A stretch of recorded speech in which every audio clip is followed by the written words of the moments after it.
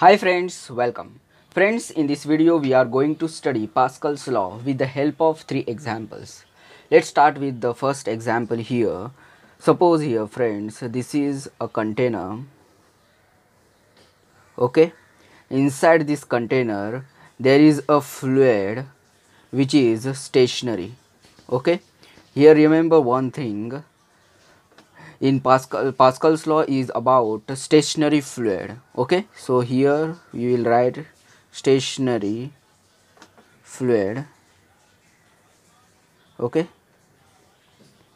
So here suppose inside this container and inside this fluid stationary fluid there is a object. This is the object which experience force or you can say pressure in all the directions okay? Suppose this is one direction this is another direction this is another and this is another direction. This stationary uh, fluid applies or applies pressure on this object equally in all directions okay? Uh, this can be this direction also this direction also this direction also this direction also in from all directions. This pressure is same. Now suppose again here uh, this is a container okay? Inside this container there is a stationary fluid okay?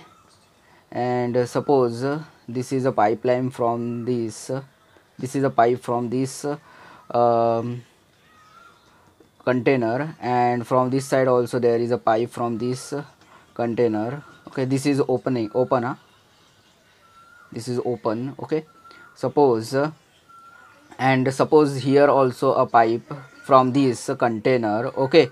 And uh, you can if you press a here a pressure gauge which give you a reading x bar okay?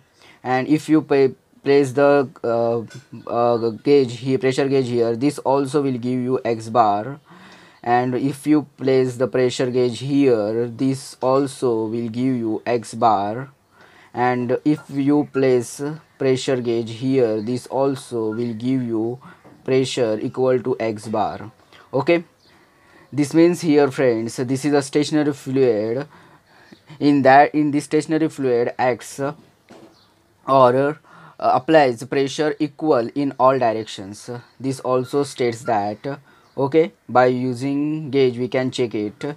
And further here friends uh, third example is here. Suppose this is a container and this container and here the, inside this container there is a stationary fluid which acts or applies a pressure on this container. Like this in direction in this direction in this direction in this direction and in this direction which this direction applies pressure on the atmosphere. All these pressures in on the outside bound on the boundary of the of the fluid you can see here is equal. So from here from this we can second first we will write here um, pressure is equal in all directions. So here we can write down the Pascal's law like that. Pascal's law states that the intensity intensity of fluid at any point in a stationary fluid is same in all directions all directions see here see here friends. For this statement here suppose here this is a container and here inside this container there is a stationary fluid and in inside this stationary fluid suppose this is a point okay? This point applies pressure in all directions okay? In this direction in this direction in this direction in this direction in all directions this pressure is equal okay?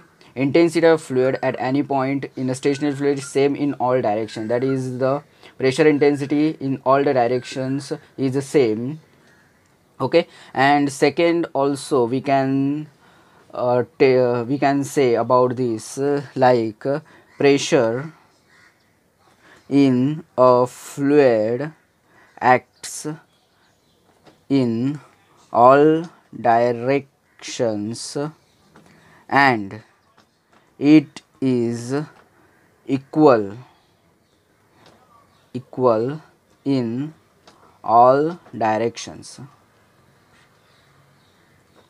Okay this is a pascal's law.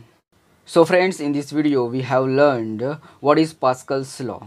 Thank you friends for watching this video. Like share and comment for this video and subscribe my channel. Thank you